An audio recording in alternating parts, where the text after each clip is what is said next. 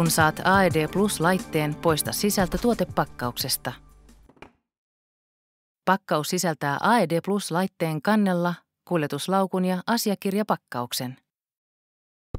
Tuotepakkauksessa on myös elektrodit ja paristosarja.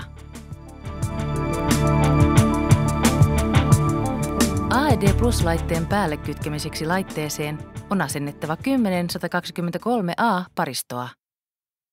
Katso hyväksyttyjen paristovalmistajien luettelo ylläpitäjän oppaasta.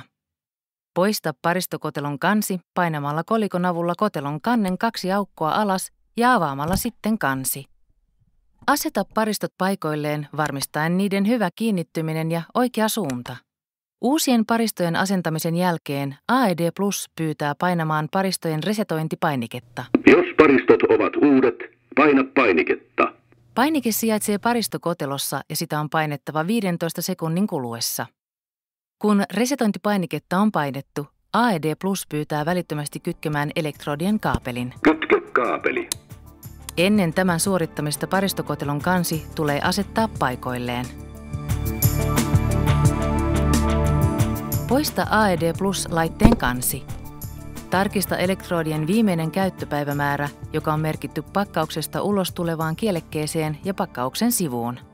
Varmista, ettei viimeinen käyttöpäivämäärä ole mennyt umpeen. Riko pakkauksen sinetti ja poista varovasti koko pakkaus.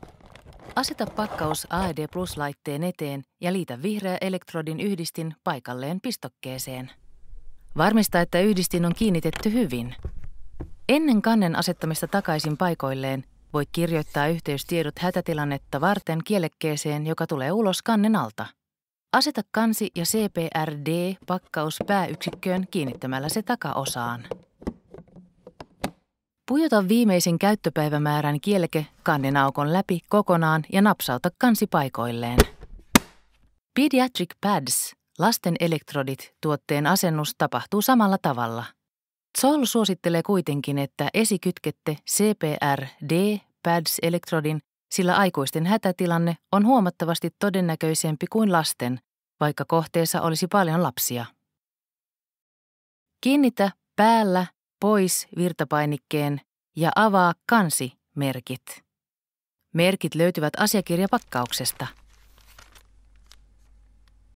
Kiinnitä viimeisen käyttöpäivämäärän kieleke teipillä alas. Erota ja repäise pois kielekkeen muovinen tausta ja kiinnitä kieleken nauhan tapaan.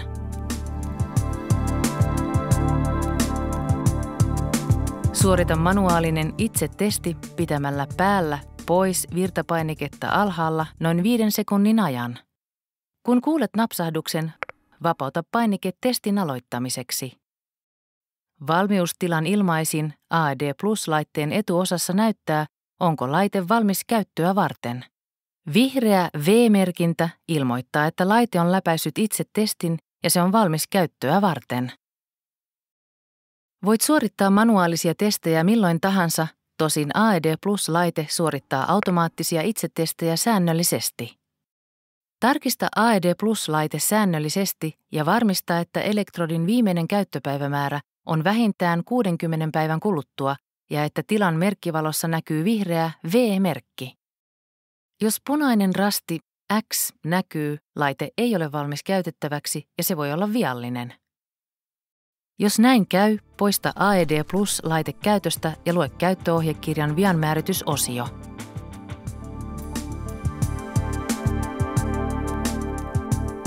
Jos AED Plus-laitetta ei pidetä kaapissa tai seinätelineessä, tai jos matkustat sen kanssa, voit pitää sitä kuljetuslaukussa. Avaa laukun vetoketju ja aseta AED Plus ylimpään taskuun. Sulje kuljetuslaukku ja kiinnitä kaksi hihnaa laitteen kantokahvaan. Kuljetuslaukun taskuun voidaan asettaa varaelektrodit. Pidä tällöin viimeisen käyttöpäivämäärän kieleke näkyvissä ja varmista alustat paikoilleen Velcro-hihnoilla. Voit käyttää AED Plus-laitetta ilman, että poistat sen kuljetuslaukusta. Riittää, että avaat etuosan ja laite on valmis käytettäväksi.